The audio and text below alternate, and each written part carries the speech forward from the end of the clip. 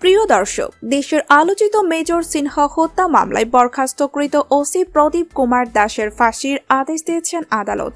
কিন্তু বিপদের এই দিনে পাশে নেই স্ত্রী চুমকি। অবৈধ সম্পদ অর্জনের মামলায় প্রদীপের স্ত্রী পলাতক রয়েছেন।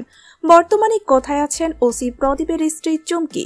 দর্শক, পুরো সংবাদটি বিস্তারিত জানতে হলে ভিডিওটি না টেনে সম্পূর্ণ দেখতে থাকুন। আর আপনি যদি আমাদের চ্যানেলে নতুন হয়ে থাকেন, এক্ষুনি সাবস্ক্রাইব করে বেল বাটনটি বাজিয়ে দিন, কারণ দেশ বিদেশের সব রকম খবর এখানেই রয়েছে। প্রায় চার কোটি টাকার অবৈধ সম্পদ অর্জনের অভিযোগে দুদকের দায়ের করা মামলার প্রধান আসামি চুমকি। এ মামলায় দ্বিতীয় আসামি প্রদীপ।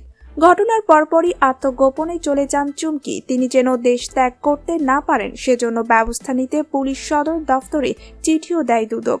কিন্তু এখন পর্যন্ত কোনো হদিস মিলছে না চুমকির।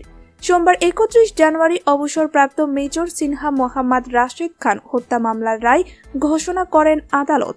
রায় টেকনাফ থানার বরখাস্ত ওসি প্রদীপ কুমার ও বরখাস্ত পরিদর্শক লিয়াকত আলীর মৃত্যুদণ্ড দেওয়া হয়। এদিন অন্য আসামিদের আত্মীয় স্বজন আদালতে উপস্থিত থাকলেও ছিলেন না প্রদীপের স্ত্রী চমকি। স্থানীয় সূত্রে জানা যায়, প্রদীপের স্ত্রী দেশে কোথাও লুকিয়ে আছেন নাকি পালিয়ে বিদেশে গেছেন তা বলছেন না স্বজনরা। আইন শৃঙ্খলা বাহিনীও চমকির অবস্থানের সঠিক কোনো তথ্য স্পষ্ট করতে পারছে না। আইন শৃঙ্খলা বাহিনীর একাধিক কর্মকর্তা জানান, প্রদীপের স্ত্রীকে গ্রেফতারের পরোয়ানা তাদের কাছে এসেছে। তাকে খোঁজা হচ্ছে। বিভিন্ন সংস্থার কাছেও পরোয়ানা পাঠানো হয়েছে। দেশে থাকলে তাকে অবশ্যই গ্রেফতার হতে হবে। বিভিন্ন সূত্র মতে, প্রদীপ গ্রেফতার হওয়ার পর চুমকি প্রথমে চট্টগ্রাম শহরের সদরঘাটে এক স্বজনের বাসায় কিছুদিন আত্মগোপনে ছিলেন। এরপর থেকে আর তার হদিস মিলছে না। অনেকে ধারণা করছেন তিনি সীমান্ত পাড়ি দিয়ে ভারতে পালিয়েছেন। চুমকির বাবা অজিত কুমার একাধিকবার বলেছেন, মেয়ে কোথায় আছেন জানেন না। প্রদীপ গ্রেফতার হওয়ার পর চুমকির সঙ্গে আর কথা হয়নি। অবৈধ সম্পদ অর্জনের অভিযোগে প্রদীপ দম্পতির বিরুদ্ধে দুদকের মামলা চলছে। মামলার এজাহার অনুযায়ী ঘুষ দুর্নীতির মাধ্যমে অর্জিত টাকা স্ত্রীর নামে সম্পদ গড়েছেন প্রদীপ দাস। চুমকি কারণ গৃহিণী।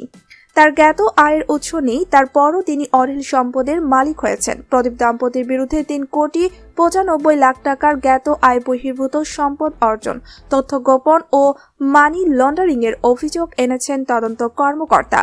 সম্মানিত দর্শক, বরখাস্ত ওসি প্রদীপের মৃত্যুদণ্ড আদেশ শোনার পর আপনি কি খুশি হয়েছেন? কমেন্ট করে জানান আমাদেরকে।